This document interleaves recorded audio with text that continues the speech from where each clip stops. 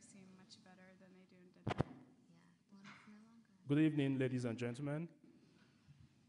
You're all welcome um, this evening to the REACH um, expert panel um, for the Faces of Africa. REACH stands for Raising Awareness for the Crisis in the Horn of Africa. Um, many of you may have heard of um, the crisis, the food crisis, the humanitarian crisis, and human rights um, problems that had have taken place in the crisis of in, in the Horn of Africa.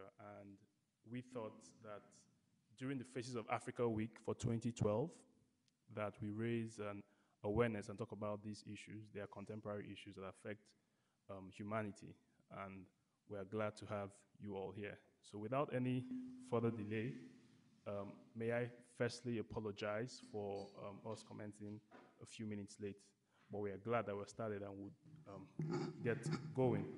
So we have um, a panel here today. We have our moderator here with us today, and all of you here.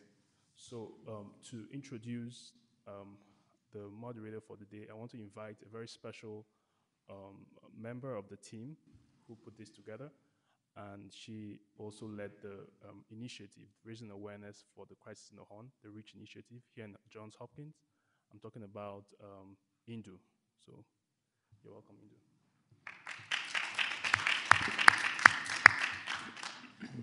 Thanks for coming. And um, most of us would recall seeing the distressed skeletal faces of children on our television screens and web pages during the recent Somali famine. Some of us would have felt the urge to make a donation to our trusted aid organization in a fervor to do something to ease the hunger. However, very few of us would have realized that there are many human made causes of hunger and starvation this evening's events are aimed at bridging the gap between perception and reality in Somalia. It is my pleasure to introduce our panel moderator, Professor Bob Lawrence, who has been the guiding force of this evening's event since its conception several months ago. Professor Lawrence is a founding director and professor of the Center for the Livable Future at Johns Hopkins Bloomberg School of Public Health. CLF is an interdisciplinary group of faculty and staff that focuses attention on equity, health, and the Earth's resources. Professor Lawrence is also the professor of health policy and management and international health. He is the recipient of the Sedgwick Award Medal for Distinguished Service in Public Health, the American Public Health Association's oldest and most prestigious award. The medal has been awarded since 1929 for distinguished service and advancement of public health knowledge and practice. Professor Lawrence co-founded the Physicians for Human Rights and has participated in human rights investigations on behalf of that group or others in Chile, previous Czechoslovakia, Egypt, El Salvador, Guatemala, Kosovo, the Philippines, and South Africa. We are deeply honored to have him moderate this important discussion on Somalia. So um, I'll invite Professor Bob Lawrence to now take the panel. Thank you. uh, thank you very much, Indu. Um, for the clinicians in the audience, the panel sitting up here is all select, uh, experiencing right homonymous hemianopsia. So if for the non-clinicians in the audience, that means that we don't see anything in the right visual field. So those of you who are hunkered down way in the back, there are some wonderful tables right up here. And if this panel discussion is going to be interactive and truly engaging, then you ought to uh, come forward and take advantage of that. And I see four people in the back not moving yet. Now it's down to three. Uh, well, first of all, I want to thank uh, uh, Indu and Chine and the entire group who have worked so hard to organize uh, this week, focusing on the challenges of uh, health uh, in Africa and particularly the challenges of food security and the dilemma of uh, uh, famine in the Horn of Africa.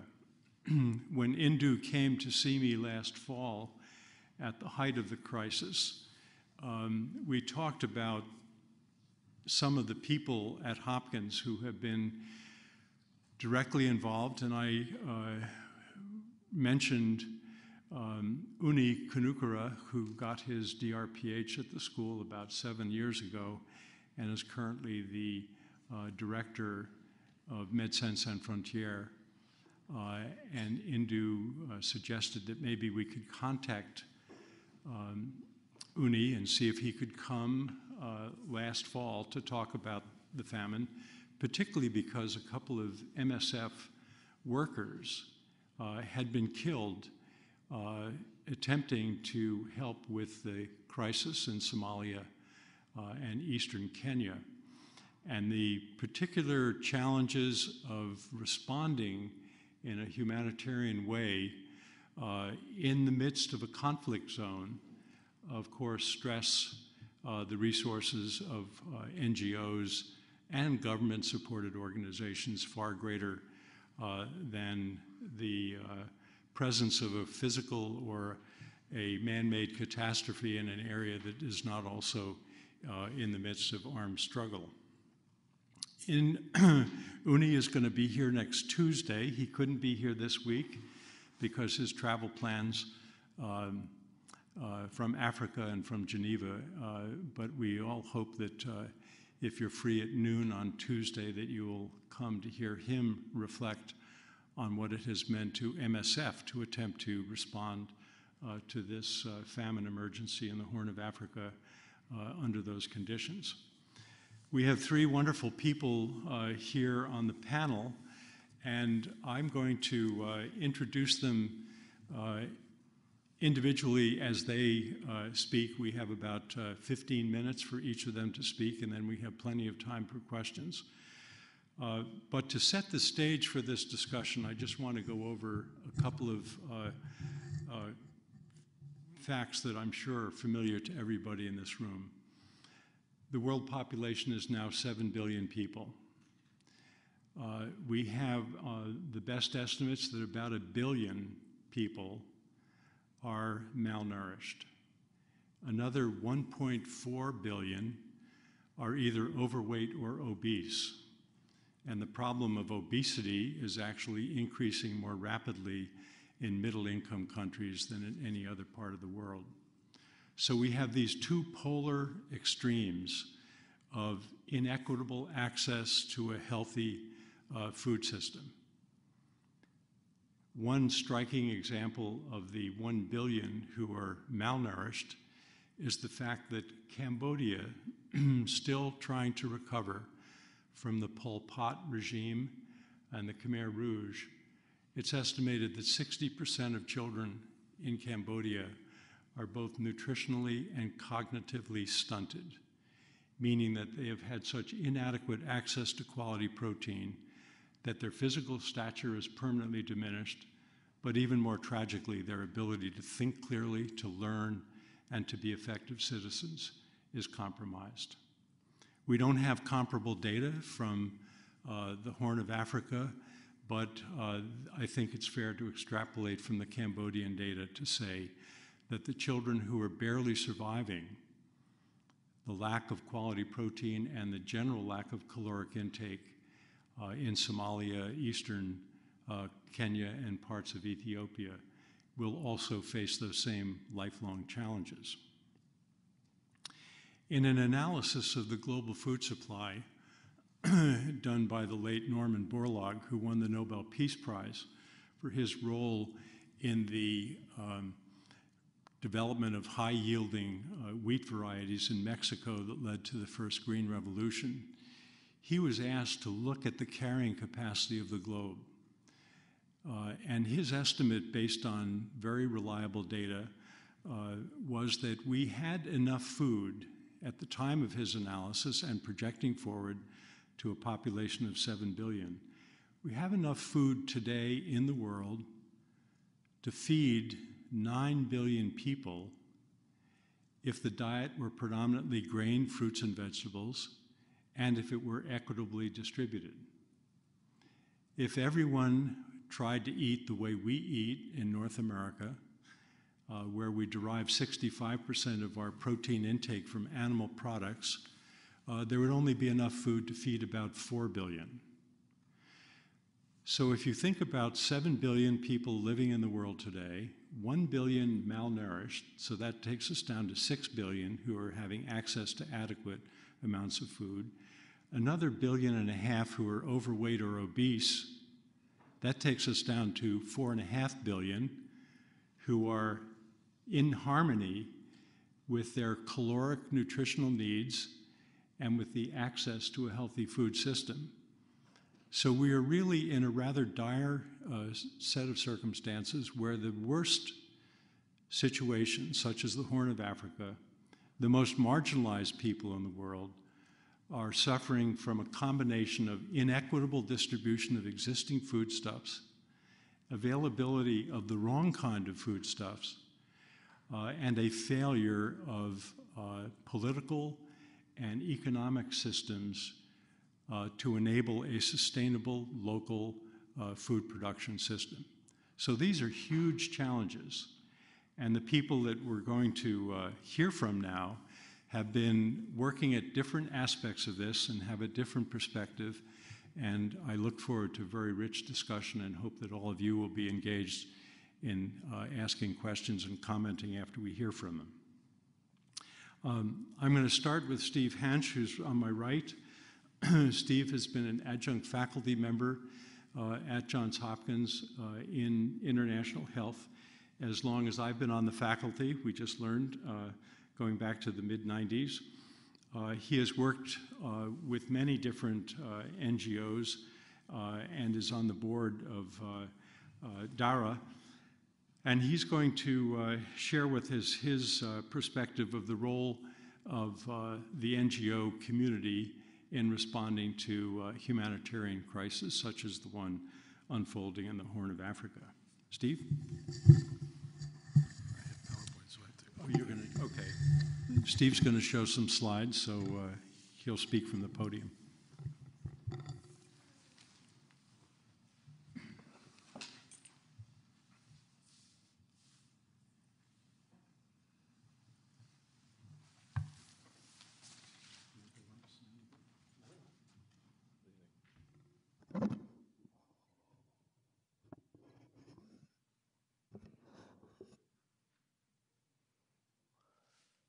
I usually like to walk around, not so much because I like to walk around, but I find that it keeps people feeling like it's more three-dimensional and interactive. Um, there's, there's a kind of a narrative to what I'm talking about. Um, and it may not be that apparent at first. So what may be the best thing that the U.S. government has ever funded is something called the Famine Early Warning System, which got started after the famines of the mid 80s, uh, Sahel, Sudan, Ethiopia. It's called FEWS. and the area of the world where it's got the most oomph is Somalia. Uh, that's partly because there's not much else a lot of our agencies are able to do in Somalia. Uh, it's kind of a tractable country. It's a country that formerly was an Italian colony, so Italy takes a lot of interest in the Food and Agriculture Organization, FAO, a UN agency in Rome. And so FAO has really stood up and done a great job of tracking famine in Somalia over the last few years. But the basic methodology has been published by the US government, and it's still to this day, I think, the far and away the best example of applications of mapping in GIS and satellite imagery for anything in humanitarian aid. There's a lot of initiatives uh, these days about using satellite imagery and using mapping and crowdsourcing and OpenStreetMaps for humanitarian aid purposes. And it's not really clear that it's made that much of a difference, but the famine early warning system is all about getting ahead of the curve because almost all reviews of food aid for responding to needs over the decades have found that food aid is usually late and it misses the, the boat. And so FEWS was really all about getting us enough advance warning that we can get ahead of the curve. So FEWS was the first initiative to use satellite imagery and NDVI, and then mixed it with all kinds of ground data, such as rainfall, which you can collect within a cup, field observations of crops, but also key data that we've learned is really valuable, such as the price of food and distress sales, which are lagging indicators, such as when people are selling off their assets, their land, their tools, and then forced, forcibly migrating. So through FEWS, NGOs have learned to collect local food price data, and we've learned to anticipate food crises are largely defined, or let me put it another way, very highly correlated with the local retail price of grains. And we can usually predict food severity and malnutrition largely from the local pri- price of grains. When the price of grains go up, uh, the price of other things often go down, uh, like livestock, and because the terms of trade flip. Live streaming. Oh, you mean they have to see me? Yeah. Oh, okay. Because otherwise they won't be able to see me.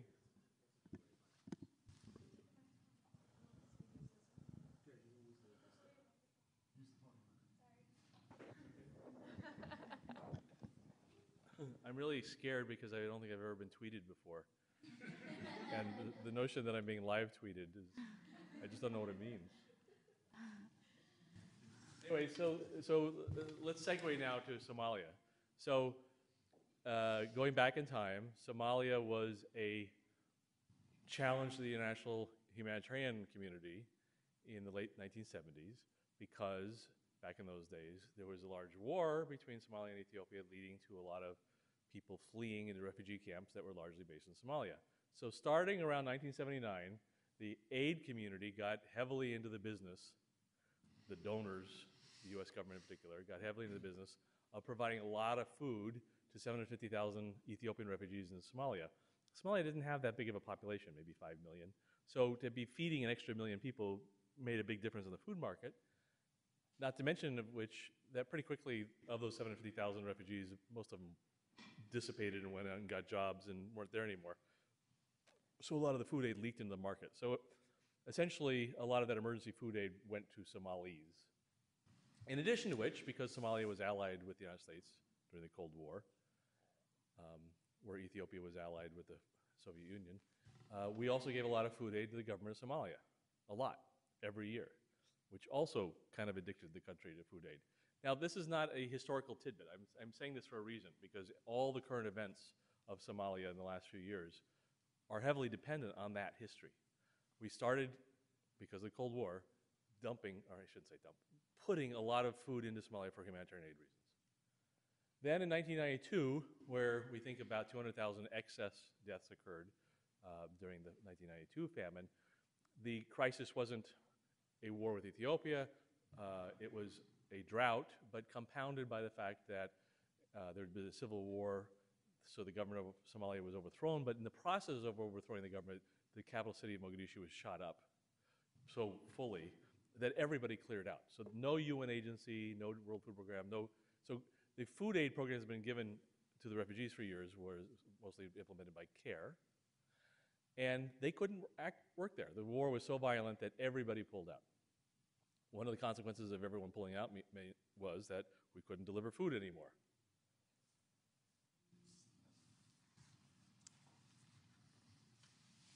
So this is kind of the key chart. The way a lot of people remember the 1992 famine was, oh, we discovered a country in the world called Somalia that we'd never heard of before. Oh, we have the President of the United States talking about it. Oh, some journalists went there. Oh, they seem to be having a food problem. Oh, let's solve it by bringing a lot of food aid in. That's how almost everybody remembers it. What they don't remember was what, what defined the famine, it was the one year that it didn't get food aid. And I would argue that it was the withdrawal of food aid that, to a large extent, um, put the population in jeopardy because we, we had, in fact, addicted the, the economy. And that's not something I'm trying to make a big point out of. I'm just making an observation. Uh, I'm all in favor of giving food aid in large quantities to people who, who need it. And we do give food aid in large quantities to lots of Koreans, North Koreans, Zimbabweans, Ethiopians, and other countries around the world year in, year out. And that's, that's my background, that's my job. And so I support it. But I also acknowledge that we have certain dilemmas in this industry, such as what do we do when we provide the food aid so reliably that the country and the economy depends on us? So there, in 1992, there was a lot of forced migration. A lot of people moved into Kenya, the Liboi camp in early 1992 in Ethiopia. And so this mass migration was one of the early indicators of the crisis. A lot of armed violence that later we think of as being segueing into piracy. But I always find it interesting how a public health person would explain what happened in Somalia in 1992 by saying, oh, there was malnutrition. That malnutrition led to food distress. That food distress drove violence.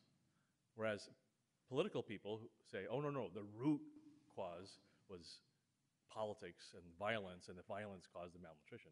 Well, they're both kind of true. It was a vicious circle.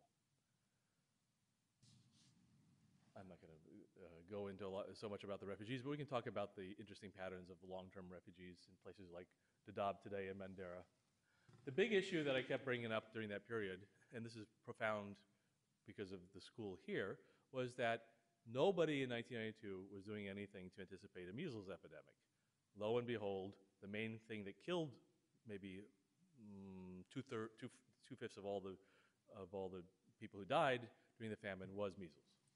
And nobody lifted a finger to immunize for measles because they couldn't establish a cold chain because we didn't have refrigerators.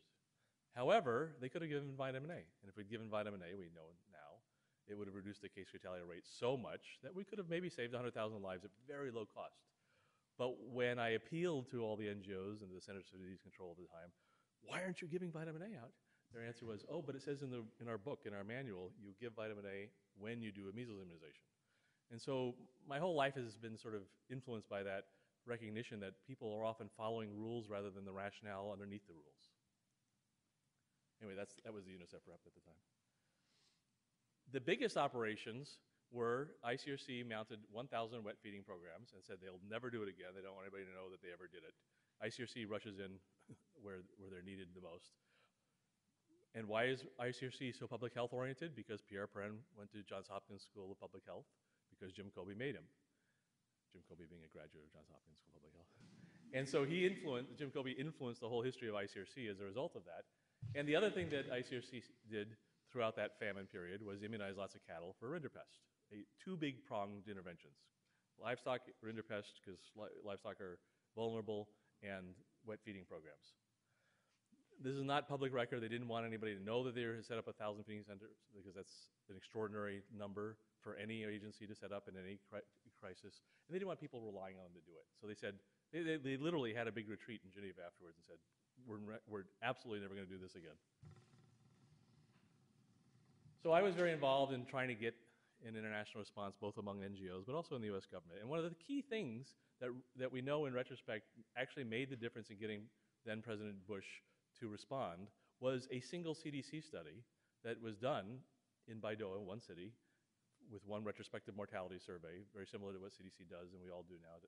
Uh, we do interviews to find out what happened within a household over the previous few months.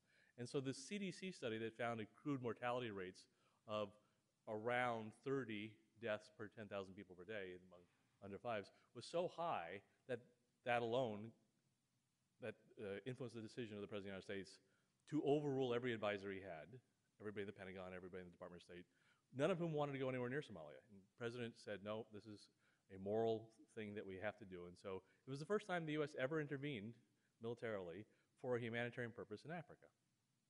And he did it because of epidemiology. What he didn't know, what we didn't know, what CDC didn't know, is the data point that they were using, which they kind of assumed was representative or average, wasn't. They, what CDC had done is it gone to the worst single place at the worst single time and done a survey that actually gave a very high estimate. Then later that year, U.S. ground troops arrived, and that's kind of history. That's what most people remember. A lot of U.S. ground troops fighting in Mogadishu and trying to force aid onto people. But what people don't remember so much was that a lot of the aid that made the difference was just getting food onto the markets. In other words, U.S. and Canada and WFP airlifted a huge amount of food,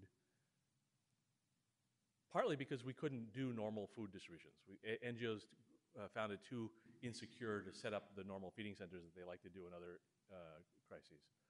So we did a huge airlift. Sorry that my slides, I have, I have, I have more slides than, than, um, than I have time to explain all of them. So we did a large airlift in the fall of 1992. This is what shows the landing point. So we started from Mombasa and Nairobi and had 30 flights a day on C-130 planes that just dumped a lot of food. So Somalia, because it's not that huge of a population, was a country where airlifting actually could sort of make a difference, and we gradually brought the price of food down because we just pushed, pushed that, uh, that tool so hard. And it brought the price of food down between September, October, November, December, so that by January of 1993, the famine was over. over both in terms of the price of food was brought back to equilibrium or normal, normal prices that people, poor people could afford, and in terms of excess mortality in both senses. So just the sheer airlift. This is prior to ground troops arriving, and for that matter, prior to most of the NGOs arriving. So the famine was kind of over by the time the international community responded. I spent a lot of my time during that period trying to orchestrate monetization, where it's a market intervention where we sell food into the market.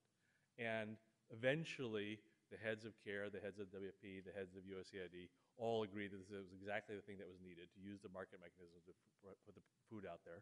Unfortunately, by the time we got around to monetizing the food, it was 1993 and the famine was over. And it was the right idea at the wrong time.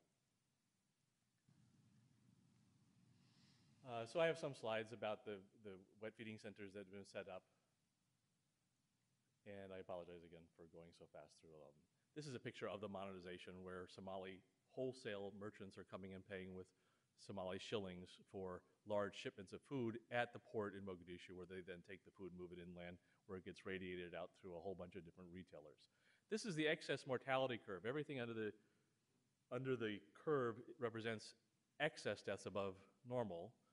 Um, in a normal period, we would expect maybe 99,000 or 90,000 deaths in Somalia. And so this is a curve that we were able to reconstruct from the data of NGOs, um, as well as some of our own surveys after the fact, that showed how the famine moved in two waves, partly representing a rainy season, but partly representing also a geographic spread. So the first peak was more in the middle of Somalia, the second peak was more in the southern part of Somalia. And what the chart doesn't show is that a very large chunk of that death of the mortality was from measles. CARE subsequently was kicked out. WFP has moved on. Lots of agencies are jockeying for all kinds of new ways to respond to famine, microfinance. When I was at, uh, interviewing all the NGOs at, working in Somalia three years ago, every single NGO was doing microfinance and market interventions of some sort. That's the big buzz now, as well as cash interventions and vouchers.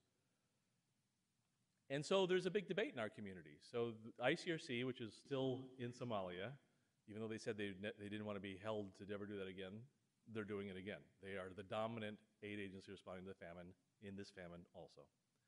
And they are responding with food because there's a net food shortage in Somalia in this last year in 2011. And uh, yet, a lot of NGOs say, no, we live in a new era. We now know that food aid is bad and it's always better to give cash. And so there's just a huge rift in our community about how to interpret when to use different tools to save lives. I already mentioned the, the missed opportunity to do measles immunization in Somalia in 1992. We've had the same thing replay again this last year. So NGOs did not have access to southern Somalia. MSF and ICRC and Save the Children UNICEF were advised by Al Shabaab, the rebel group that controlled most of the country, that they didn't want to see immunization programs. They also said they didn't want to see data collection. So we're actually in a weaker position now than we were 20 years ago in knowing what's happened.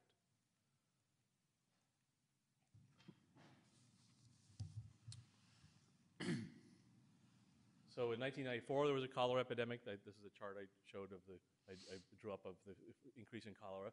We have every reason to believe that there was cholera in Somalia during this famine also, but we don't have a chart like this. We don't actually know where and when measles and cholera or any other forms of excess morbidity may have occurred. So we don't have a way to reconstruct the total number of deaths in this famine as well as we did in past crises.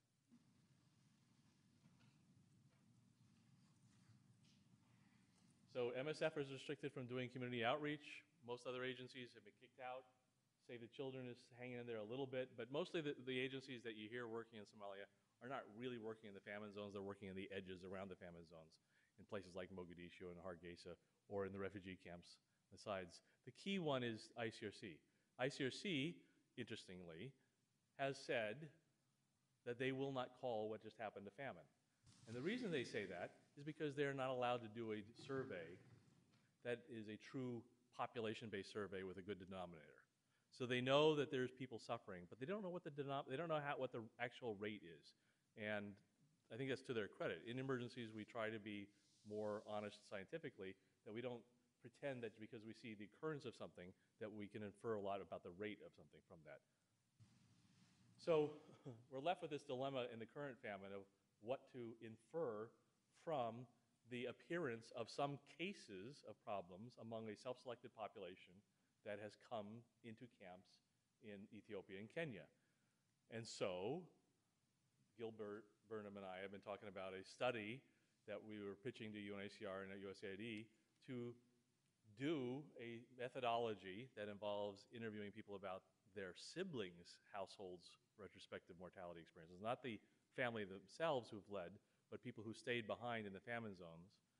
Um, similar to what Hopkins has done re- repeatedly, mostly with Court Robinson's leadership in uh, China among North Korean refugees. So, again, the key concept here is we don't have access to the population. We do have access to a weird, self selected group of people who fled the famine into other countries. And so, to try to overcome or adjust possibly to that self selection bias, we have a method whereby we ask those people who have fled and we have access to do interviews with, not about their households' health outcomes, but about the health outcomes of their sister's family who are still back home in the famine zone. So if you're interested in being associated with this study, let me know. We can talk about it afterwards. I've been very frustrated with the Centers for Disease Control. Unlike 20 years ago, unlike 30 years ago, they have been involved, but they have a journal article where they've done their analysis, in the, and the um, I think it was JAMA or New England Journal of Medicine or uh, Lancet turned it down. And so it's not public, so, and they won't release it. They won't tell us what they think about the crisis.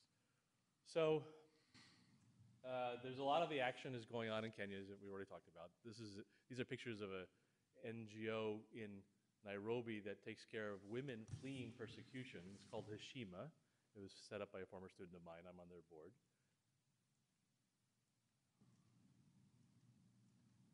Sorry, I'm going so fast. The FSNAU is the thing that I referred to at the very beginning. It's this special souped up famine warning system that exists in Nairobi that has the Food and Agriculture Organization supporting or surrounding the USAID FEWS program. And they do a very in-depth analysis of famine.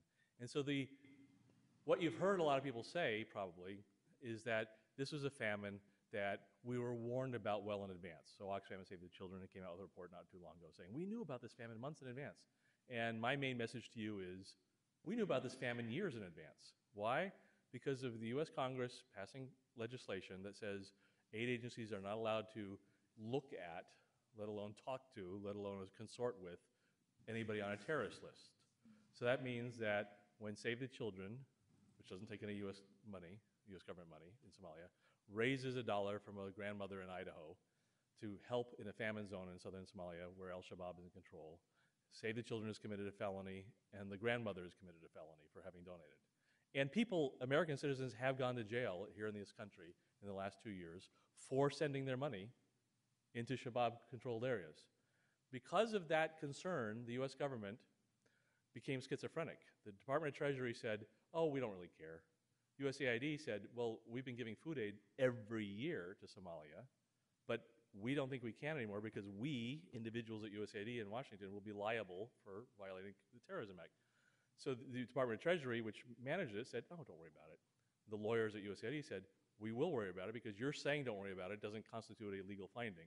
So USAID shut off all food aid to Somalia three years ago, and predictably the famine unfolded. And when I say predictably, I don't mean theoretically predictably. We were predicting it, and we were, we, the NGO community, were calling on the U.S. government to fi- get their act together, to have the White House get the State Department and the USAID and the Treasury all in the same room. And we've testified to Congress about this many times, and the U.S. Congress people and the senators say, oh, yes, we never really meant this to be one of the unintended consequences of our terrorist legislation, but they haven't fixed it. All right. So I want to move a little fast forward. So I've spent this last year all over again, meeting with the people down the street, Catholic Relief Services, meeting with World Vision, meeting with other NGOs, saying, hey, at least we can work through the markets. Let's push food through the markets through the monetization program that we did 20 years ago. And once again, we did it. And it took months to get it off the ground. And the food, the first food sales we got off the ground were this January, after the peak of the famine was over. Basically, just as the new harvest was coming in. So it was the right idea, right place, right tool, but too late. So this is a chart that just came out last week from the Famine Warning System. The red line is a funny, funny line. It shows uh, on their axis the probability over time that the future, the next few months will become famine again. So, in other words, just in the last few weeks, expectations about rainfall in Somalia have gotten just enough bad that all of a sudden they're predicting a much higher likelihood that we'll be returning into famine conditions again. Now, we didn't immunize in this crisis for rinderpest. Why? I'm sure somebody in the room can tell me. Because we eradicated rinderpest, probably the most important other event of the year 2011. It was the second disease in the history of the human race that we've declared as eradicated after smallpox. Um, so I'm going to sort of zoom in now to the events of the last few weeks. So this is a meeting I was in in Mogadishu two weeks ago, where we were meeting with the UN Deputy Resident Coordinator about what to do with all the IDPs in Mogadishu and how we're trying to get NGOs like Norwegian Refugee Committee and or Council and IRC to, to help set up a bunch of new camps that'll be longer term and aggregate them, which leads to a lot of the human rights NGOs to say, oh no, you're violating their human rights because you're, you're making people move when they don't want to move. So right now, Mogadishu is safe in a very large way, in a way that it wasn't a year ago, because the international community, which is to say donors, have put in enough money to pay for AMISOM, that's the AU Army, American, sorry, the African Union Army, working in Somalia, to beef up and have enough troops now that they can project their force and actually start winning against Al Shabaab. So they're gradually retaking territory, and a lot of people are predicting, a lot of people have been saying that Al Shabaab is finished and that pretty soon the whole country will be liberated. Meanwhile, the Ethiopian army is also invaded. And my work has been lately not just on the food side, but or the public health side or the NGO side, but as the famine has been ending, I've been moving more into peace building. I mentioned the Kenyan military invaded in last October. Soon afterwards, the Ethiopian military invaded, all on the side of AMISOM, all on the side of the transitional government in Mogadishu against Al Shabaab. So Al Shabaab is getting hammered on all sides. And my job is to work with um, all of these parties to try and come up with a demobilization program that allows Al Shabaab um, combatants who are by and large not ideological, who are by and large not um, in it for the long term, who are not in uniform, who haven't signed any agreement. They're just going along with Al Shabaab because Al Shabaab has intimidated them. But try and give them a path that they can follow to peace. So let me zoom in. So I've been working with the Transitional Federal Government. This is the guy in the middle is a bit of a um, serious guy. Is the defense minister of Somalia, and um, his family lives in Davis, California, and that's kind of typical of a lot of the. Um, about half of all of the key players in Somalia today are Americans. So th- at, at, this meeting, this was a budget meeting. The guy who ran the meeting was the um, uh, the finance advisor for the mayor of Washington D.C. Um, sorry. So the goal is, can we buy peace? With the money that we're spending on humanitarian aid, for, a, for probably a fraction of it, we could, if we put that as an incentive program for people to demobilize, the El Shabaab rank and file people who aren't really ideologically El Shabaab, in theory, will step down and, and, and agree to civilian life. But we have to create a pathway. So my job has been to anticipate and map the armed groups, create a governmental policy that everyone can buy into, that respects international humanitarian law, that is transparent, that's fair, that it involves enough of a magnet, that has some oversight.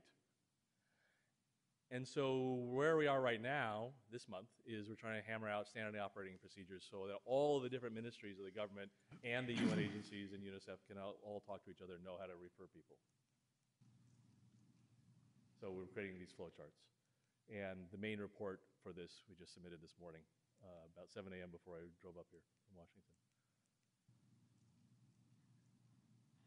That's the Mogadishu airport. This is the meeting on demobilization and reintegration that I chaired two weeks ago in Mogadishu. This is the resulting flowchart to create a comprehensive plan for where people can be reintegrated and get six months of food aid and different packages and a knowledge management system that tracks them so they can be protected, gives them ID cards so they can get cash. And I'm, we're trying to cap this all off with a conference in Washington DC in a few weeks. Thank you. Thanks, Steve, for a comprehensive overview of the situation. Uh, We're now going to hear from uh, Sherdan, who's a doctoral student in education at Ohio State, uh, who currently works with uh, Save Somali Women and Children and End Famine, and has previously worked for UNESCO in Nairobi. Suraj? Hi, everybody. Um, that's a really tough act to follow. um, I think my talk is going to be much more brief. Um, and not much data in my talk. I'm going to be speaking to the Somali responses um, and the, the mobilization of Somalis following this famine. Um, and I wanted to begin with a quote, uh, to quote the Nigerian novelist Chimamanda Adichie, who gave Is there any chance we could get you at the podium? Oh, So sorry to interrupt. That's okay. Apologies. They want to webcast you and tweet you. yeah.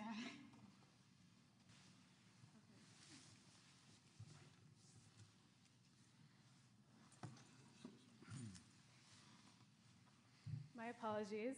Um, so I wanted to begin with a quote uh, by the novelist uh, Chimamanda Adichie, um, who's from Nigeria. She gave a wonderful TED Talks a couple of years ago um, about the single story.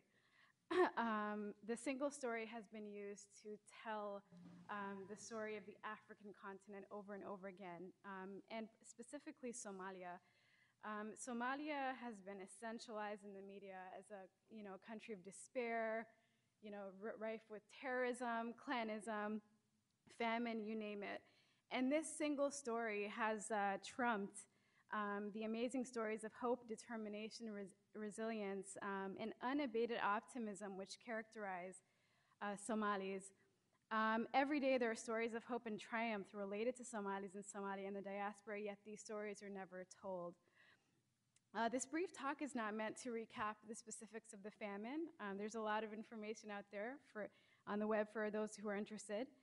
Um, this talk is meant to highlight the Somali perspective and what Somalis in the diaspora did. Um, Somalis have for far too long been left out of important discussions, whether it relates to humanitarian development or politics. Um, it is quite a tragedy that policies and responses have, are being formulated to the various issues faced by Somalis without the inclusion of the most important stakeholders, Somalis themselves. Um, so, just to begin, um, um, just talking about the early months of the famine, as a Somali community, we knew about the famine um, around August of 2010, which is when the FEWS predicted that there would be a famine in Somalia. Um, and if you ask any Somali, news of droughts are not uncommon. You know, you'll receive, um, you know, word from family in Somalia that, you know, the crops have failed um, and that they need money. Um, and this is a pretty effective way of helping, um, you know, Somalis in the absence of NGOs.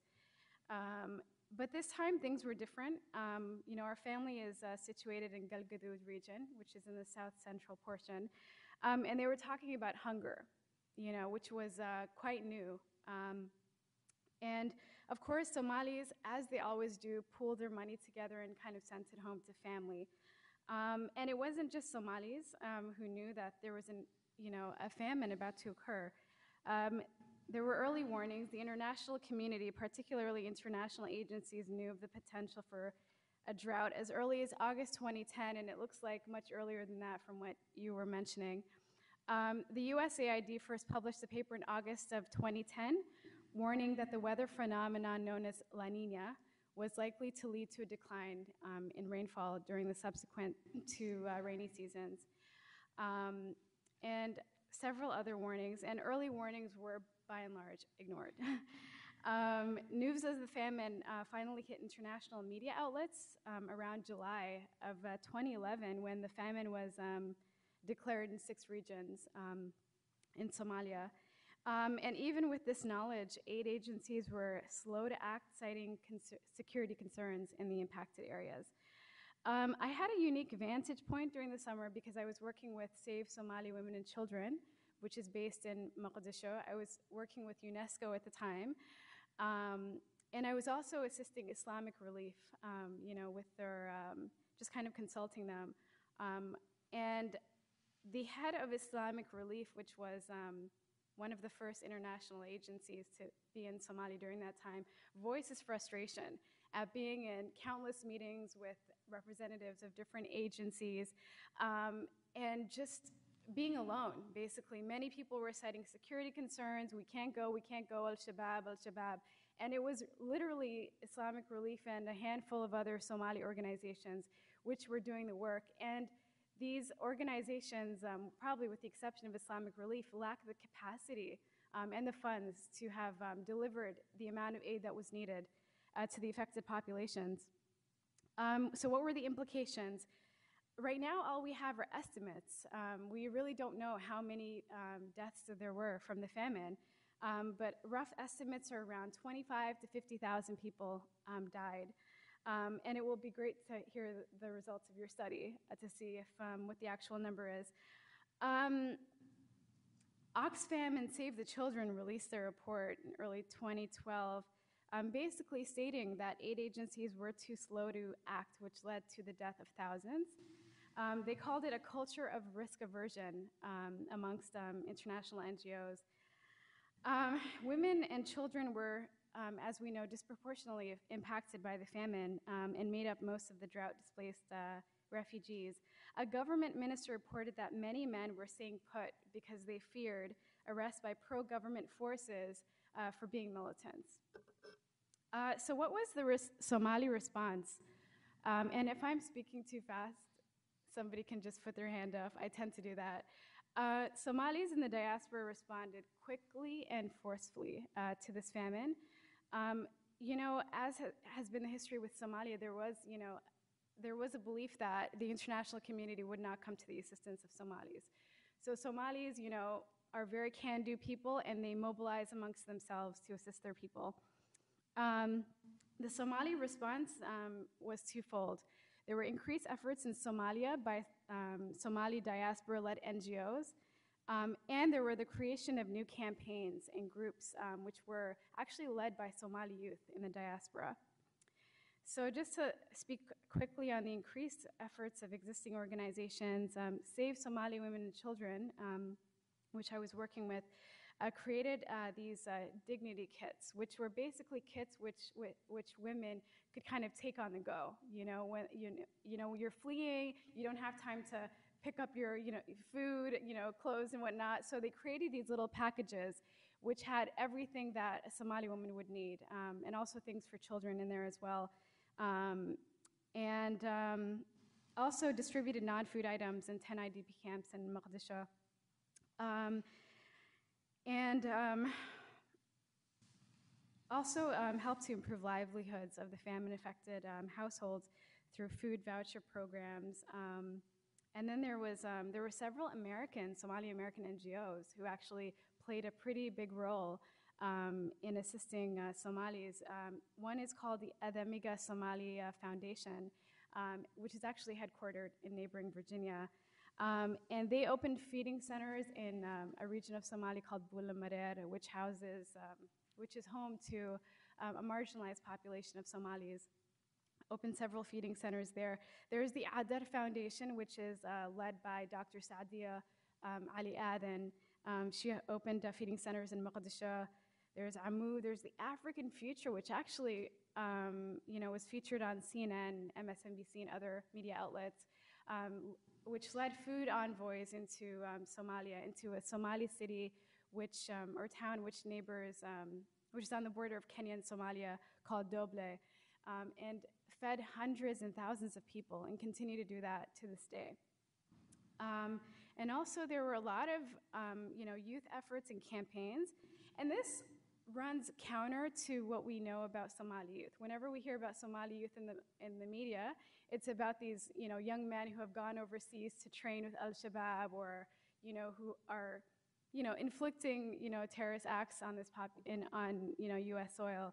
Um, but this was really um, the youth mobilized in a way that we haven't seen them mobilize ever, um, Somali youth. Um, there were several websites created which kind of congregated all of the campaigns um, and the fundraising efforts. Um, one was called Feed Somalia, which managed to establish um, fundraising committees from places as diverse as London to Nairobi to San Diego to Toronto, Canada. Um, there was an initiative called Step Up for Somalia, which was created by a family in Calgary. Um, and as you guys probably know, the height of the famine coincided with um, the Islamic month of Ramadan, where you know we're supposed to fast from sunrise to sunset. And these youth actually, um, you know, did a walk from Calgary to Edmonton. That's 300 kilometers in summer heat while they were fasting, which is really impressive, and managed to raise several thousands of dollars. There's the campaign that I'm associated with called End Famine, based out of Columbus, Ohio. Um, and they managed to raise thousands by going, um, you know, door to door, um, you know, asking Somalis for money. And there's a really inspiring story of a young child, um, you know, who was um, sick on the day that, you know, that the money was being collected, um, who presented the girls affiliated with our group with a huge jar of money. He had been saving up his allowance uh, to go to, you know, victims of uh, the famine, and he was only eight years old.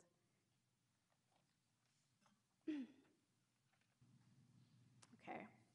And just to conclude with some simple recommendations, um, uh, you know, which Somalis would like to see um, enacted, um, I encourage everyone to understand that the story of Somalia is quite a complex one. What you see in the media is not all of Somalia. Somalis are a very diverse people. It's a very diverse country, and there's a lot going on on any given day. And we're not simply all about terrorism and clanism and warlordism and any other negative ism that you can think of. Um, I would encourage you all to read and learn what Somalis have to say. There are several prolific writers on this issue. Abukar Arman is the Somali envoy um, to the United States, and he's written um, quite quite extensively on um, Somalia.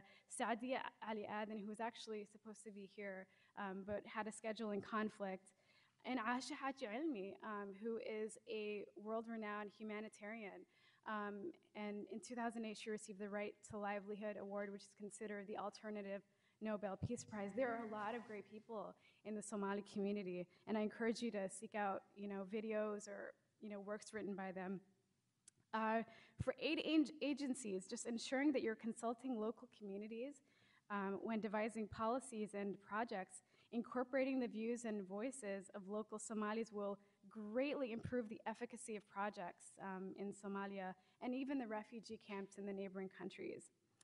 Um, for universities and other organizations, ensuring that you're including Somali voices on discussions um, surrounding Somalia. One of the criticisms um, of our community is that there are several conferences, several talks, several you know, media experts on Somalia, and only a fraction of them are actually Somali. So a lot of a lot of what's being said is being said around us. You know, it's being said about us, but not with us. Um, for the, Som- the U.S. government, um, there's a rich Somali diaspora here um, with an unrelenting passion to help rebuild their native country, just working to engage these communities um, as they can act as an effective bridge in enacting aid policies which will better the situation of Somalia and Somalis. Um, and just a general point, um, the focus for far too long has been on the re- reestablishment of peace and security in Somalia. And while this is important, um, humanitarian development has been left to the wayside. Um, and the implications have been quite drastic. Um, similar to the political dual track policy, um, you know, perhaps enacting a dual track policy where US government officials not only engage political actors but also humanitarian actors. Um, and just to end with a final quote um, by Dr. Saadia Ali Aden. Um, Dr. Saadia recently wrote, um, you know, a piece for the Huffington Post um, about her experience returning to Somalia after 20 years of being away. Um, and I just wanted to read that quote. Um, I could see the silver lining through the bustling markets of both the southwestern region of Gedo and Mogadishu, where store after store were packed with all kinds of merchandise. And in the streets of Mogadishu, where beat up roads were jammed with cars, where street vendors sold the fresh tropical fruits such as banana, mango, papaya, that fill the air with their magical aroma, and where craftsmen were building furniture such as chairs, beds, dressers, and making futon like mattresses in the outdoors. However, nothing inspired me more than seeing school children walking back from their schools, chattering their way back to their homes, and university students proudly walking in groups, conversing and trading ideas.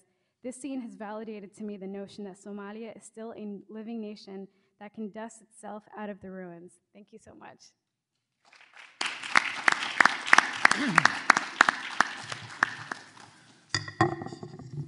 Thank you very much, Sarad, for that perspective. Um, our final speaker is Andrea Wirtz. Uh, Andrea is a research associate in the Center for Public Health and Human Rights in our Department of Epidemiology. Andrea graduated uh, from IH uh, and has worked for the center since 2008. Her research focuses on the epidemiology of human rights violations and health outcomes among marginalized populations. And her projects currently uh, uh, have her working in Russia, Malawi, Ethiopia, South Africa, and Colombia. But the project she's going to discuss today is a joint effort of the Center for Public Health and Human Rights uh, and the Center for Disaster and Refugee Relief in collaboration with the UN High Commission uh, for Refugees. The focus of the project is to develop a screening tool to identify cases of gender-based violence among conflict-affected populations and refer them for health and protection services. Uh, Andrea's work is currently underway in Ethiopia, predominantly among Somali refugees and will be expanded to other camps in Ethiopia and the region, as well as among displaced populations in Colombia. So, Andrea, thank you. Thank you. Good afternoon. Um, so, as he mentioned, I'm here today to present the results of some of our work that's underway in Ethiopia.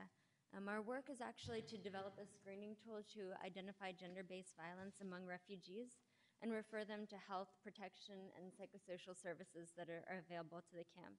Um, when I'm speaking about us or our project, I also want to introduce Alex Vu, who's the leader of this project, who's sitting in the back of the room there. And um, we're also working with Nancy Glass in the School of Nursing, Len Rubenstein, who's a human rights lawyer in the Center for Public Health and Human Rights, and Dr. Kimon Pham, who's in the School of Medicine. And we're partnering with the UNHCR, as mentioned. Um, before I start, I want to tell you that though I'm talking about gender-based violence that we that we see among Somali refugees and in Ethiopia, gender-based violence is not specific only to this population. Gender-based violence is an issue that's observed worldwide. What I'll do today is actually speak to you about the special issues that, that refugees in Ethiopia are facing and the special needs that they, that they require.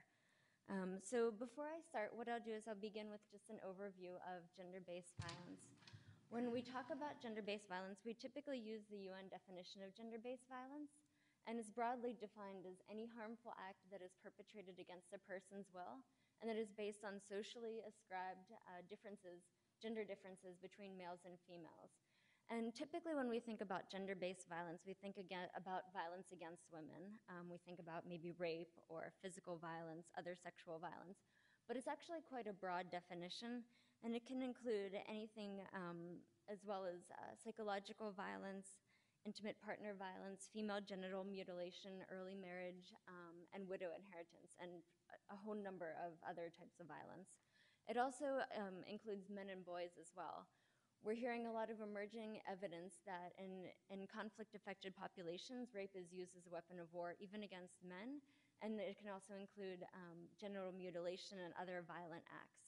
So there's been a big movement um, in the United Nations and a large, a large number of international organizations to really start to address gender-based violence and provide care and services that these people need.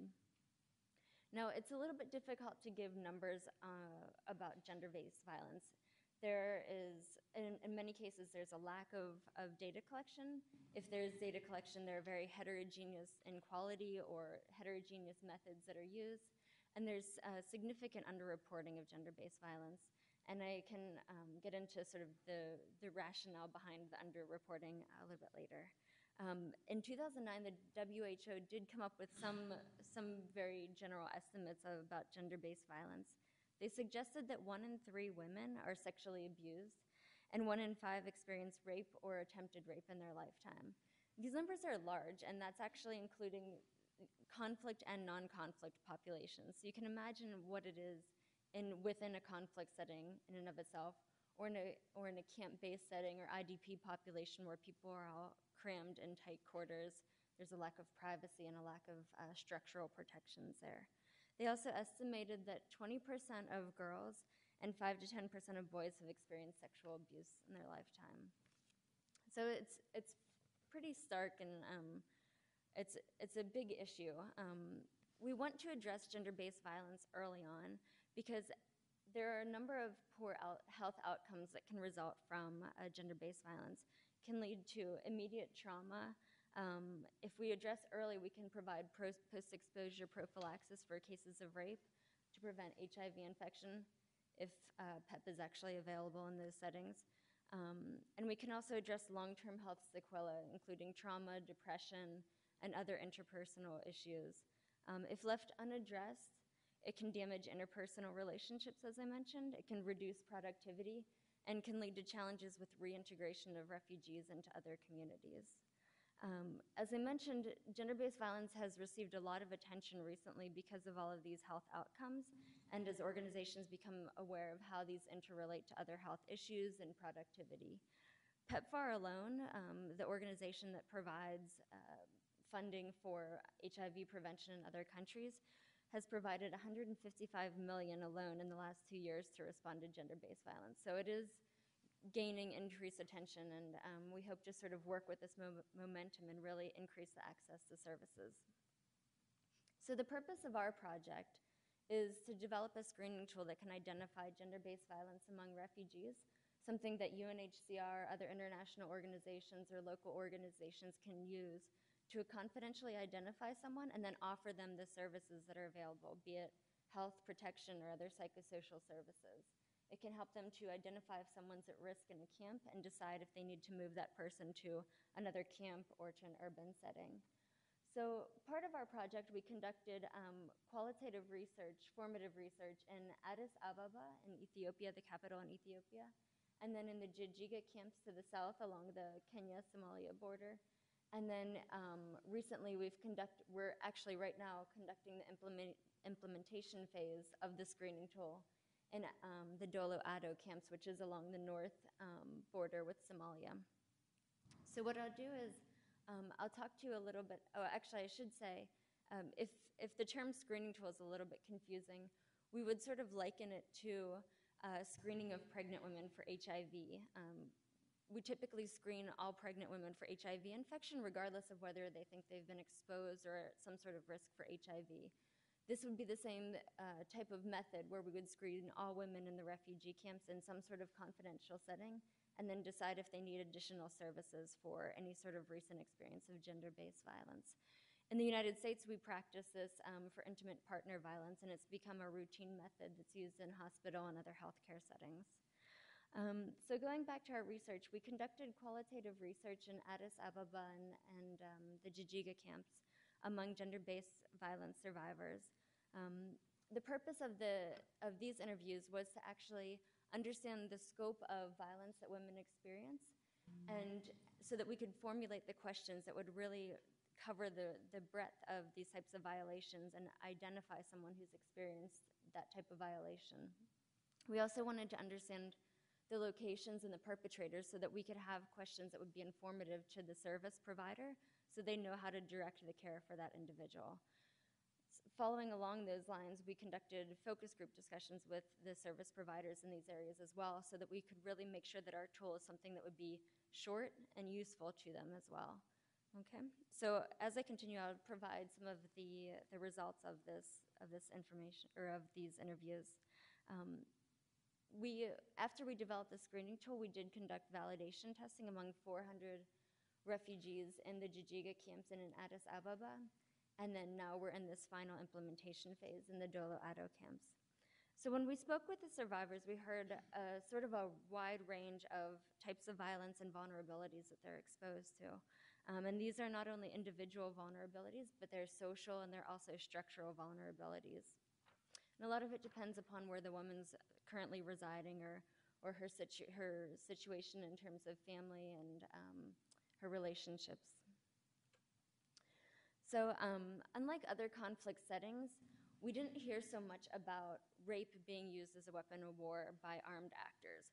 What we heard about from refugees from Somalia, their experiences within Somalia were typically related to rape um, when women were in transit within Somalia or from Somalia into Ethiopia or to other um, refugee settings. Um, they were typically raped or abused by a stranger on the street. Um, and it was more common among women who were traveling alone or, or simply with small children who lacked the, um, the structural or, or social support and protection that, that might have prevented some sort of uh, violation. In those cases, it was very difficult for women to actually access any sort of care or service because they, they weren't near a health clinic, they weren't near a physician, um, they may not have had any money to actually receive the services. A few women were lucky enough to have met someone on the road or, or be traveling maybe in a car with someone who had some sort of limited medical training that could, that could help them out. Um, in those cases, it's very important that when people come to the camps then, that they can be identified as a survivor because that's a critical time that they can then be served with, with the various types of um, health and protection services that they need. Um, the, the risks and the vulnerabilities related to transit weren't only in Somalia, they were also in Ethiopia and, and in other countries where women are, are in transit. Um, when we, what we heard from women in transit in Ethiopia were that, well, I should actually preface it by saying that refugees can move fairly freely between Somalia and Ethiopia. It's a, they're very close to the border. Um, and they can move from the camp um, in Ethiopia to other parts of Ethiopia um, or to Addis often to try and look to a way to improve their services or to find other services available and improve their situation or find other services available. So we heard from a number of women who had been traveling from the camps to Addis and back um, who had been raped sort of in that process of transit. They, they typically go off on their own and um, for example, they might stay in a hotel at one night and the hotel manager will give someone a key to their room because they were paid off to do that. And that woman at that point in time cannot receive services either because she doesn't speak the language, she doesn't know where there are health settings or health services available, and it's actually not really her priority. Her other priority is to find to make it to Addis and find something that she can, you know, maybe somehow improve her life. At that point, I, th- I don't think GBV or gender-based violence is really her her top priority, unfortunately. Um, and I think a lot of the people actually really don't understand the, the long term health problems that can come from rape or from other type of violence. Um, let's see. So within the camps, there were a number of issues as well. I have a picture here to show sort of what the housing structures look like. So this is this is from Awbarre camp, and you can see that all of the houses are very very close together. So there's really no privacy. Um, the houses are sort of wooden structures that are covered by branches or plastic sheeting. So if someone, if a woman's living by herself, it's first of all obvious that she's living by herself, and second of all, if someone wants to break into her house, it's not really much of a challenge. Um, one slight benefit to the close quarters is that your neighbors can hear what's going on fairly well, and they, and in a number of cases, neighbors are the ones who are reporting domestic violence or, or coming to the rescue if someone's being um, violated within their house. That said, it is slightly problematic as well because if something happens within your house, then your neighbors know, and most likely everyone else will, will soon know in the camp. So it's a difficult situation in terms of serving or providing um, confidential services and, and care for people in, within the camps. Um, we did find that FGM, uh, or female genital mutilation, sexual violence, and other physical violence that occur in the camps, but they were less likely to be reported because those matters are typically handled within the community themselves, especially if the perpetrator is from the community. It's a, it's a very tough situation because it becomes an issue of he said, she said, and sometimes survivors themselves are blamed for the incident. They may be, um, may be told that they're lying about the incident, and it's a, and it's, it's a very challenging situation for, to resolve. Um, the types of sexual violence that, that are reported to service providers are those that occur outside of the camp. Typically, if a woman is collecting firewood and someone from potentially the host community or some other stranger rapes the person or rapes the child, that's, that's what is actually reported to the health and, um, health and protection officers. And speaking about um, raping women and, and the young girls in the in the camps, age is, as it is in many cases, is a predictor of vulnerability. Um, there's we did hear a lot of reports of kidnapping, and it could be kidnapping related to trying to kidnap a child and return them to a family member in Somalia. In some cases, kidnapping was related to rape. And then there were other cases of kidnapping um, for the purposes of, of circumcising a young girl. Um, so these are all issues that sort of uh, are ongoing in the camps. They're very challenging issues to address because of what I mentioned the fact that it's a very stigmatized issue. Everyone knows each other, and it's a very close community, which has a, a lot of benefits in and of itself. But for a highly stigmatized situation for gender based violence, it's also um, very limiting because people really are nervous about reporting their, their experiences. This is one of the reasons why we wanted to have this um, to develop a screening tool. We know that there's, there's a large number of um, women who have experienced gender based violence, whether it's physical or sexual violence, psychological violence, or who are at risk for it, um, but they just don't come forward. And so by, by working with the local organizations, um, some of the community based organizations, we want to be able to have them confidentially identify someone and then offer them, just offer them the opportunity for those services. That person has the choice then to say, yes or no, I want these services. And they know that those services are available. So if they say no at that time, they can always come back at another point. So it's a very difficult situation. As I mentioned, gender based violence is something that's, that's an issue worldwide. Um, in these camps and in the refugee populations, there are very special issues, very special needs. Um, and so when we think about gender based violence here, we shouldn't just focus on gender based violence, but we should focus on it in the fact that it's an issue within a very complex issue. As, these, as everyone on our panel has mentioned, these people are also facing famines. They've lost their homes, they've lost their loved one. And so we don't want to force them to prioritize one need over another. We need to figure out a way to, to work with our existing resources and sort of maximize the efficiency of all of them. That's our event. And so stay tuned for more. Thank you.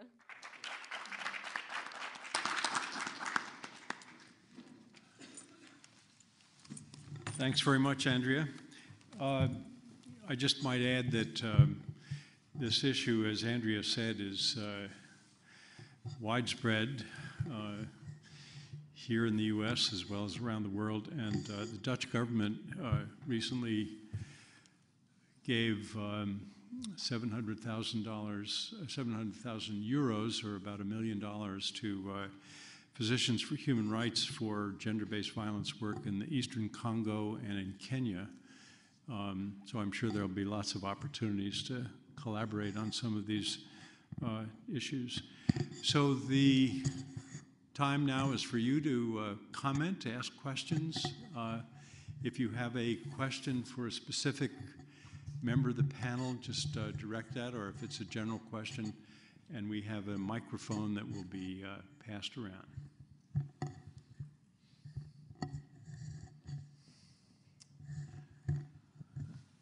Um, I had a question for Steve. I mean, we heard that the food delivered in aid often does not actually reach the people because it gets sort of stolen en route and things like that. How do you, like with the NGOs, how do you deal with that sort of um, situation? The, the case of food getting taken en route is particularly bad in Somalia, and it has been in Somalia in the past. Um, and NGOs are not good at handling it.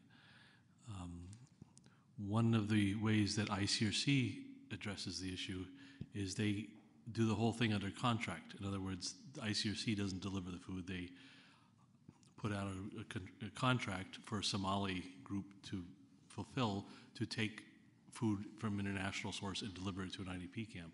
So they offload all the risk and liability and onto some Somali savvy person who, being Somali, seems to have the incentive to know how to work the system.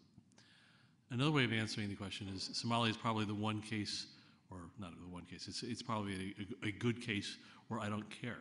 If the whole region is food deficient, if, if there's if there's excess mortality widespread, then if it leaks and, and uh, ends up getting spread a lot to different regions because it is poaching along the way, it doesn't bother me that much.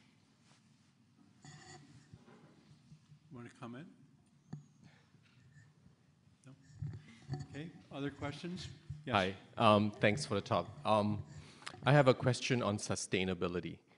Um, as, as your talk, you, you had like, say, when the issue comes up, food pours in, and then it stops. So is there any consideration from NGOs or from, from anyone that you know to address sustainability in countries like Somalia? Like maybe um, address agriculture or something like that. Because from the example I, I could see is like every time there is hunger or famine issues, a lot of aid flows in and then it sort of stops. So is there a sustainability issue? Sarah, do you want to? Um, You know, from the Somali perspective, it doesn't seem like many of the projects right now are designed for the long term. Um, Somalis have been stuck in a cycle of aid dependency for over 20 years now. Um, and I would encourage um, aid agencies to look at more, uh, as you said, sustainable projects. Because if, the cap- if Somalis had the capacity to feed themselves and to take care of their communities, they'd do it in a heartbeat. Right now, they lack the capacity, and many of these um, projects are quite short term, um, and we have to be looking more long term. Andrea or Steve, you want Andrea? Well, I guess I can add a little bit about sustainability for the health and, and um, protection services in the camps, at least. Um, one thing that we notice is, as, as she mentioned, that there are all short-term projects. People who work in the camps often work there for a short-term, for a short amount of time, especially if it's an emergency situation. And there's sort of a, there's some cases a lack of institutional knowledge because people may move out of a position before someone else replaces them. And so traditions or practices or you know best practices aren't really carried on because that message isn't passed along. Um, so one thing that I think is really important is to to work with both the large organizations, the international organizations, because they do bring information across contexts and, and knowledge learned and um, experiences gained. Um, but to work with sort of the host communities, the community based organizations, and groups that are on the ground all the time, really train, um, build up their capacity as well, because they're the ones who are going to be there. They're the ones who know the populations. So I think to have that partnership is really important and to, to always remember to focus on that. There's also the uh, dilemma of international agribusiness with uh, subsidized commodities from the United States, Canada, Australia, um, so that small uh, farmers throughout sub Saharan Africa, not just in the Horn of Africa, will often find that um, the global availability of uh, wheat and maize from uh, commodity subsidizing high income countries distributed through the World Food Program actually undermines the very market that would allow a sustainable local agriculture. Another? Yeah. Yes. So I have uh, one question for Ms. Sheridan and one question actually for our moderator. Um, so for Ms. Sheridan, thank you so much for being here. It's really, I think, very important to have a Somali perspective.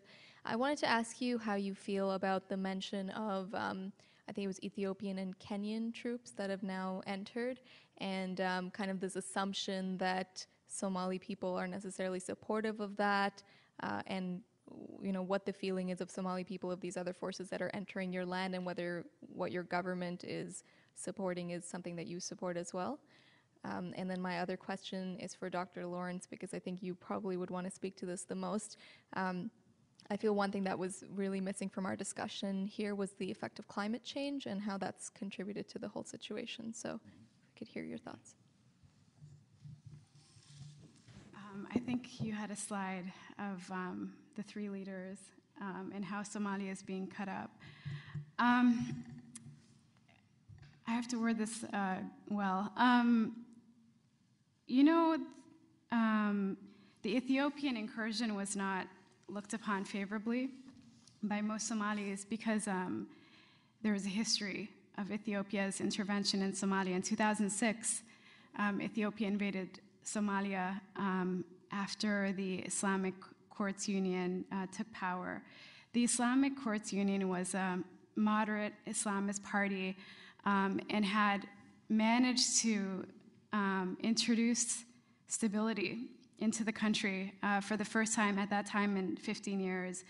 Um, and the United States believed that there was a terrorist threat from this organization. Um, so basically, helped to eradicate um, the Islamic Courts Union through Ethiopia. Um, so the Ethiopian incursion has not been looked upon favorably for, by Somalis. With regards to the Kenyan, it's more it's more complex um, because there are many who are saying we don't need more countries in Somalia. It's just further complicating the situation. But there are, are also, you know, a minority who are in support of it. You know, um, any there are some who are arguing that anyone who's there to get rid of Al Shabaab, it's a good thing. We need as much help as we can get. Um, so I hope that answers your question. So Kenya, it's been more um, you know, complex, whereas Ethiopia, you know, 100% most people are like, we don't want them in the country. Uh, the question about climate change uh, is a challenging one because we know from projections based on very good modeling efforts that um, with uh, climate disruption and climate chaos, we're going to see more extremes of uh, the hydrologic cycle with uh, periods of drought alternating with periods of intense heavy rainfall, flooding, and so on. So if you take a, a region of the world um, that historically, like the Horn of Africa, has, uh, as uh, Sirad mentioned earlier, the, a long uh, history of uh, recurrent periods of drought and crop failure, and then you just exacerbate that situation, um, I think that the outlook really demands a couple of things. First, collective action to take global climate change seriously so that we can begin to mitigate. We're not going to prevent it, but we could start mitigating if there were sufficient political will, especially in the United States. Um, Secondly, uh, a lot of work is being done to try to uh, select cultivars that are going to be more adaptable to uh, conditions of climate change. Uh, so it means continued work on uh, drought-resistant crops. Um, there's, uh, you know, the experience with the Consultative International Group on Agricultural Research, sometimes known as CGIAR, uh, with regard to rice cultivars was very encouraging. There were uh, about 60 different rice research stations around the world, including a number of uh, highland rice experimental uh, projects in the highlands of Ethiopia and the headwaters of the Blue Nile. Um, and over the last couple of decades, there have been cultivars that have been uh, identified that really uh, stand up very well under drought conditions there are other cultivars that uh, tolerate extremes of going from flooding to drought and so forth. Uh, so I think this is going to become a problem uh, challenging food security in many, many low income countries, but it's especially exacerbated by the pre existing background of uh, recurrent drought in the Horn of Africa.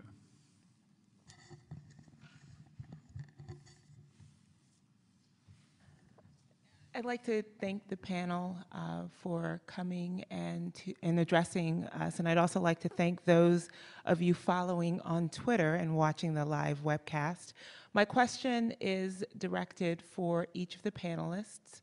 Um, and I think Ms. Uh, Sirad actually summarized some of the things that um, the average person can do to improve the situation in Somalia as well as um, uh, change how we think about uh, the country. But could, either, could each of the panelists actually, based on your perspective and your experience, also speak to what the average public health student or average Joe or average citizen um, can do to do their part um, so that they don't feel like the only way that they can express their solidarity is through campaigns like Kony 2012 and other um, funding opportunities. Thank you. Should we start with uh, Andrea? I think that's a tough one for gender based violence.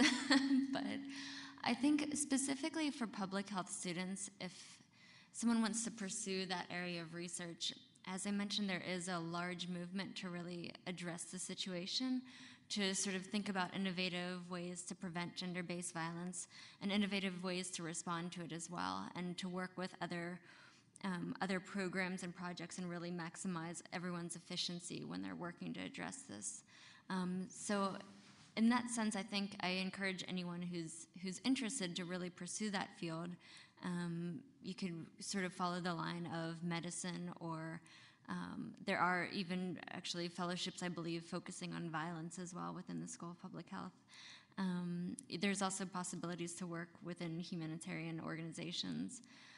For the average person, I think any sort of way to raise awareness in general about um, gender based violence is important because I think um, globally, it's it's something that still is stigmatized. Even in the United States, we hear about women and children and men who experience some form of gender-based violence and don't come forward and report.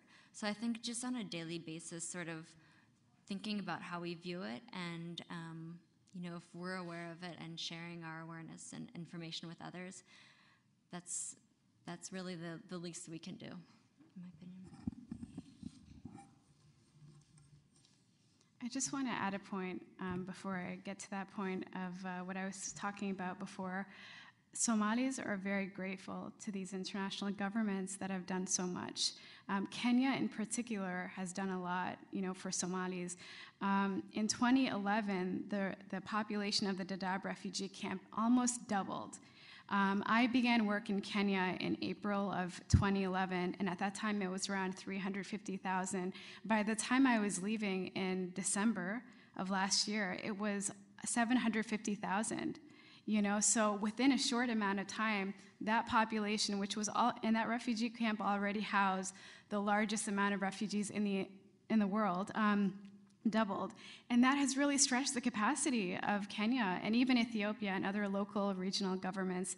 So the Somali people are very thankful um, to uh, Kenya um, and other countries, and also the United States. The United States has done a lot um, for the US. I think when Somalis say, we want more done, it's because we know of the great history that the US has had in Somalia, and we, we know that the US is capable of much more than it's done to date.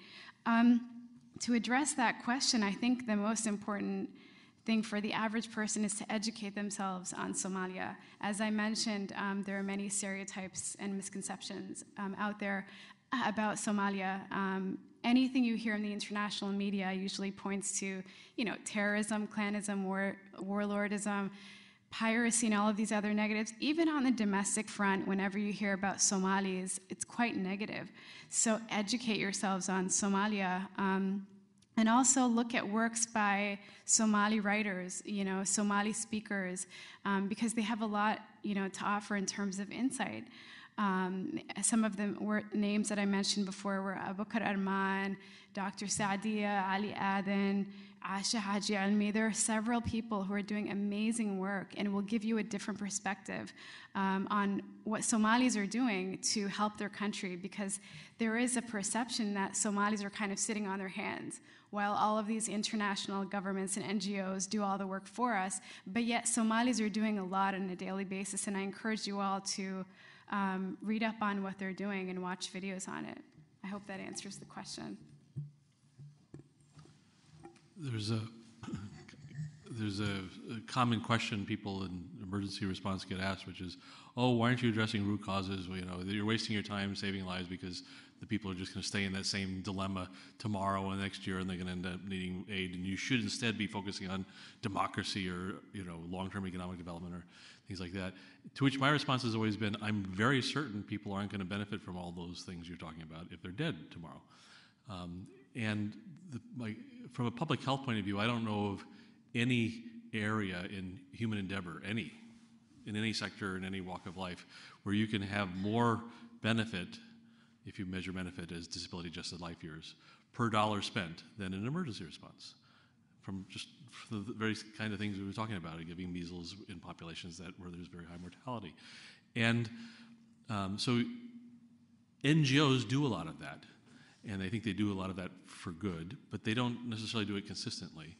And what where I think you guys can make the biggest difference is in being part of the process of taking this discipline of emergency humanitarian aid, which used to be really ragtag and just a bunch of uh, fly by night airplane pilots and cowboys, and make it into a science. And then hold the NGOs, who frankly are very responsive to the public because they depend on the public for their reputations and their money, hold those NGOs accountable um, to that science. In other words, ask NGOs, why did you make that choice here? Why did you make that choice there? What is the evidence base? Our humanitarian aid business is gradually moving into an era of being evidence based, but the public doesn't really know the right questions to ask, and that's where you guys can make the difference, helping the public analyze all those decisions we're making on a daily basis. Uh, I, I have two questions. First, uh, will all of you who are U.S. citizens raise your right hand? All right, now all of you who have raised your, keep your hand up. Uh, all of you who have your hands raised, if you know the name of your representative in Congress, raise your left hand. So there are a lot of people with just their, oh, maybe a tentative. Now, why do I ask that? Uh, because in addition to what Sirad said about educating ourselves about Somalia and Kenya and Ethiopia.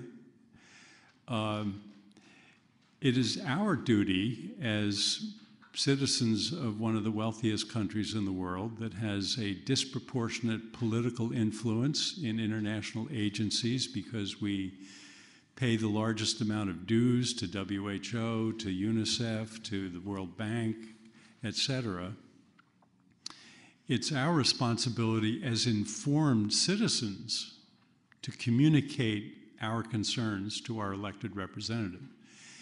And if you don't know the name of your representative, I think I can deduce that you've never written that representative or never telephoned that representative's office. Is that a fair assumption? So, um, my representative is John Sarbanes um, he hears from me about once a week, or his staff does. Uh, and I get very thoughtful letters. I know that they're produced on a word processor, and there's just a little minor tweaking to address the fact that I've identified myself as a public health professional, or I've identified myself as a human rights advocate, or I've identified myself as a food systems person. So they do get tweaked and modified, but the very fact that members of John Sarbanes' staff say, oh God, we got to respond to this guy Lawrence again, means that there's an awareness of these issues. And I have had personal conversations with John Sarbanes uh, and with Senator Mikulski and with Senator Cardin uh, since I have lived in Maryland. And this really is important. So become active, be an advocate for good policy with regard to our international position, uh, with regard to our food systems policy, and so forth. Um, and the other thing that I would add to what public health students can do, it sort of builds on what uh, uh Andrea said. Um, use your training, use your skill, use your knowledge to continue to close the gaps in our understanding of some of these major threats to human welfare and well being around the world, uh, and then translate that increased knowledge and awareness into uh, advocacy. We are often a little too shy about speaking out and advocating based on good science and based on good analysis. And that's a unique privilege of people who have studied public health. Yes, you want to? Sometimes I tend to think scattered. Um, I just wanted to um, add that many of you are probably going to go to work for some of these international NGOs, maybe the United Nations. Um, and as I said, one of the things that is miss- one of the things that are missing right now are Somali voices. Uh, many policies are being enacted, uh, many projects are being developed without the consultation of local communities in Somalia. So really, um, I would encourage you once you get to work for some some of these agencies to um, educate your you know coworkers on the importance of consulting you know with the local leaders the clan elders you know the religious leaders um, the women and the children in the community um, for their voices because affecting um, you know trying to affect change in these communities without input from local somalis is um, uh, is going to be quite detrimental, I think, uh, to the efficacy of the programs. So, really ensure that local Somali communities are being consulted when you're developing some of these policies and prog- programs. Thank you. Other questions or comments? I didn't mean to let off the hook those of you who are not U.S. citizens. You need to know who your parliamentarians and your delegates are as well. And uh, yes. Yeah, thank you very much for um, the wonderful insights. Um, I have a little question about the um, the impact of the political situation in Somalia, and there's this common theme that comes up uh, when you try to look at the issues, which is Somalia and Somaliland, and there's sort of like this, um, you know, stratification of the country. I don't know whether um, can speak to these issues a bit as well as um, Steve. You know, based on your experience working there, what do you know about the two, and can you enlighten um, us here as well as uh, um, listeners, uh, viewers on the internet as well? Thank you.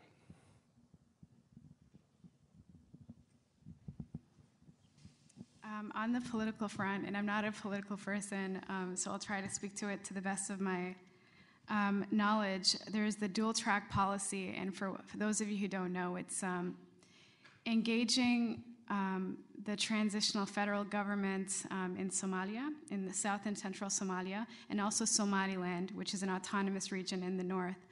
Um, but I think some in the Somali community would argue that it's been detrimental um, to humanitarian assistance because what you have now is uh, what is being called the Balkanization of Somalia.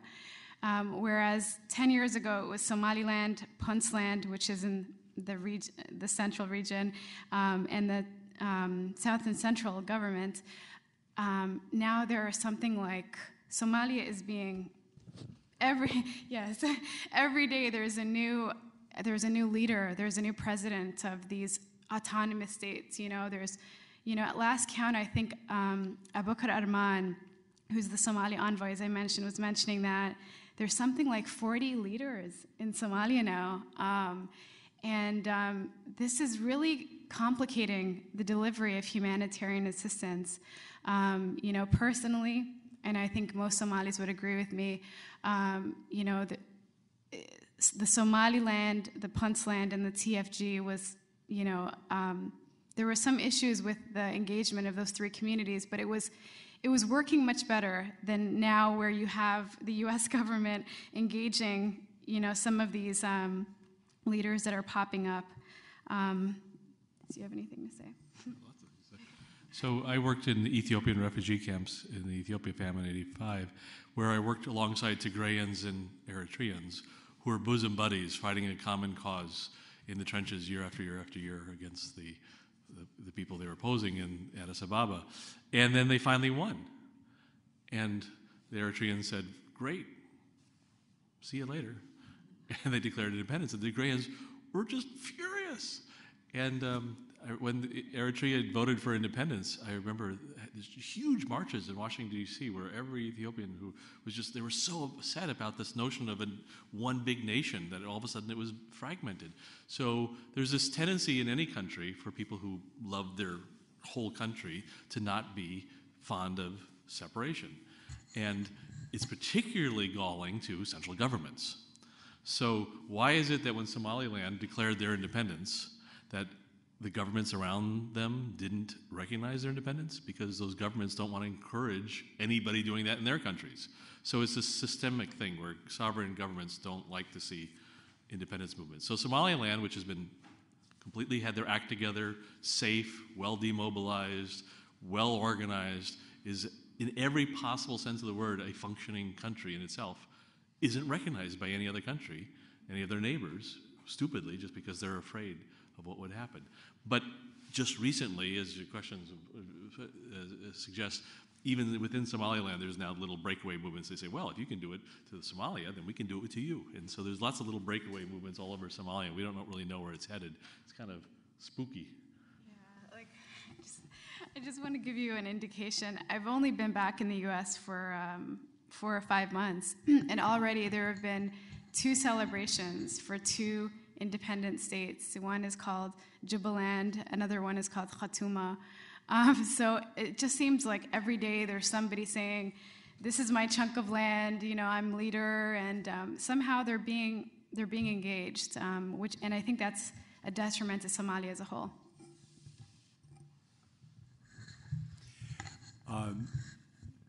We have time for one last question. Okay. Hi. Um, that was very, I mean, so far it's been a very enlightening discussion, but I guess some of us have some gaps in our, in our knowledge as we hear all this you're saying. And I guess you can just speak to some, some things. For example, if you could give us a, a, a quick history of how Somalia came to be this hotbed of warring tribes, or if you like, if you wish, and what's the role of Islam in that whole mix? Uh, what I mean, to, what, I, what I'm asking basically, I guess, is to say why, since I've heard about Somalia, I've never heard of a strong central government, right? This government seems weak, and I mean, I would assume that if you have famines every year, by now the government should have developed some form of you know response or having been able to have the capacity to respond to the famine. The fact that that hasn't happened cannot be attributed to just aid alone. There's probably some structural weakness in the government. So just some little background as to historically why how Somalia has come from. Uh, I mean, why is why is it the way it is right now? What's the history behind all of that? I guess is my question. One way of thinking about it is that Somalia probably has the highest proportion of any country in the world of the population being pastoralist nomads. So if you think about the United States history, if you think about cowboys wandering, there's just something about when the population is mobile that they don't buy into our concept of a stable country with a stable government that is that has representative democracy and things like that. Um, another way of thinking about it is because the population is so pastoralist nomad, there hasn't been a lot of industry in the country. So I would say that of all the countries in the world, it may be one of the the most lagging countries, maybe the most lagging country in having industrial diversity. The country, the, the main job, the main source of livelihood for most Somalis today is about the same as it was for their ancestors a thousand years ago. Very little churn, and so they keep falling further and further behind. They keep watching the rest of the world get better and better, and so it creates grievance. And like many cowboy populations, they're all well armed. So I don't know if you heard me talk about the demobilization program. We didn't use the word disarmament the way we would in most countries in the world where there's conflict because we just know you can't disarm the Somalis. Sirad, do you want to? Your, your question is deserving of about a, uh, a, a one-term course in Somali history. So uh, it's a big challenge, but Sirad, why don't you have the last word here? Um, as Steve mentioned, um, you know, the majority of the population is a nomadic um, population, and um, traditionally, you know, whenever it came to food insecurity or, um, you know, other issues, the clan system, um, Somalis have clans, um, served as a safety net, you know. Um, so many were divided into clans. Um, and contrary to popular belief, during um, the Siad Barre government, which was the last government in Somalia, um, he advocated for this notion of Somali Wayne, you know, and he, um, I should backtrack. Um, the colonialists, Somalia was divided up many different ways. It was divided up by the British, the Italian, the French, um, and the colonialists um, manipulated the clan system to meet their own needs, to meet their own ends. Um, and in 1969, when the Siad Barre government came in um, to power, one of its um, priorities, one of its goals was to bring everybody together.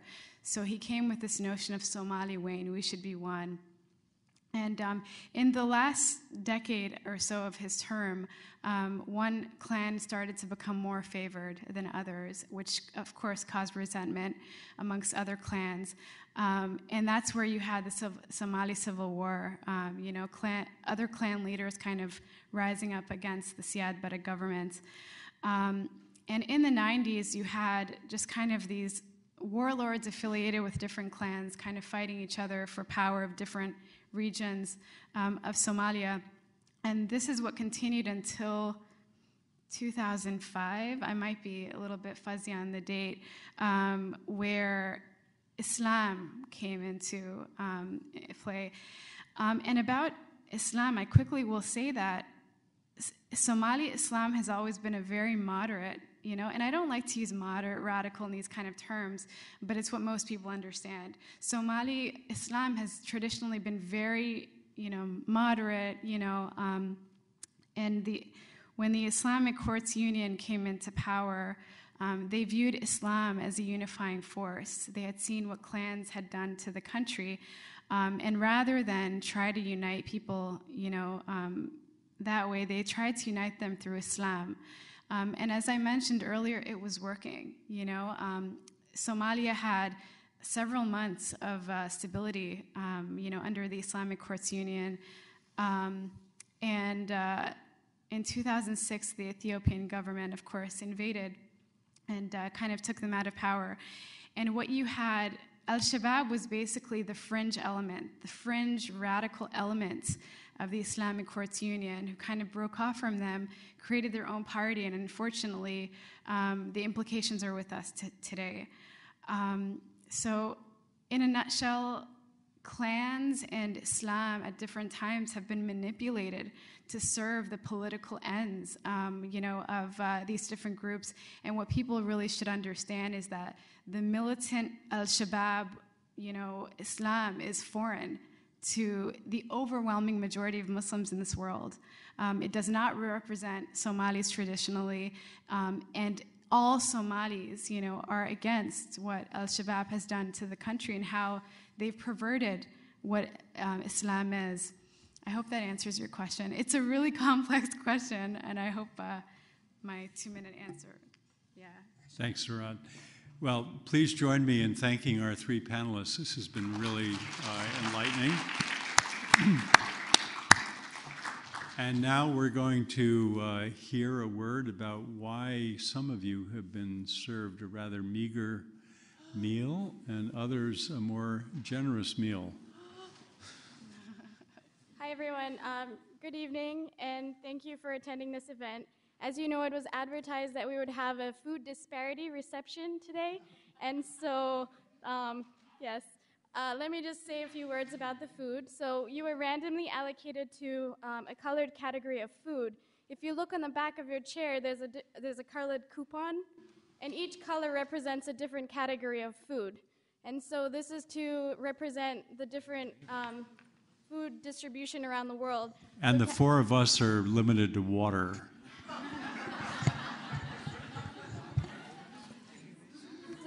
So, uh, one category is um, a bun only. Um, another category is rice and lentils. And then the third category is the big brown bag, which uh, has a lot of food in it. So this is just to show you so you can discuss with each other as you're enjoying your meal, discuss your reactions and thoughts about this and how it relates to the panel overall. So that's that. Um, and then I would just like to quickly again thank our, our panelists for participating in this event. Thank you, Mr. Hansch, Ms. Sheridan, Ms. Wirtz, and thank you, Dr. Lawrence, for moderating and sharing your expertise and shedding light on this very important issue um, in Somalia and all the complex issues that you've discussed today. Please join me in giving our panelists and moderator another round of applause. I'm interested in the names of the people that you. My notes are, you're going to find a million spe- spelling errors. And I'd like to thank Indu for having this initiative, the REACH initiative, raising awareness for the crisis in the Horn and bringing the publicity to the school. Um, on behalf of the REACH students and uh, the African Public Health Network, please um, accept a small token of our appreciation that we're going to present to you now. And thank you for your participation again. I'd also like to thank everyone here in Baltimore for attending this event and also to all those who are tuning in on the live stream that's very and those who have been following on Twitter. Um, I'd also like to invite you to the, the rest of our Faces of Africa events. So much. Um, thank you to, for all those who have come to our event so far. This is our week of events that you've seen around school. And I'd just like to dr- bring your attention to the back of your programs, which has a rundown of the remaining events for the week. So, tomorrow at lunchtime, Bill Brieger is going to be giving a talk on the future of public health in Africa and addressing the, the dual burden of disease, with both infectious disease and non communicable diseases becoming more of an issue in Africa. So, please join us in W2030 for that at lunch tomorrow. And then the long awaited Friday event to celebrate Africa. We're going to have a fashion show starting off in Sommer Hall, and then after that, bring your appetites. We'll have lots of delicious African food in the ninth, on the ninth floor cafe, and then we'll also transition to an African dance party with music, and that'll progress to an after party off campus, and we'll just be celebrating Africa. So thank you. Uh, please, thank you for attending today, and please join us for those events. And lastly, I'd like to thank our sponsors for Faces of Africa Week, the Center for a Livable Future, the Center for Public Health and Human Rights, um, the Gates Institute uh, for Family and Reproductive Health, the Center for Global Health, Student Assembly, Student Life, the Office of Alumni Relations, JB Grant International Society, Health and Human Rights Student Group, Anna Anabasia Society, and the Black Graduate Student Association. Um, so thank you, everyone.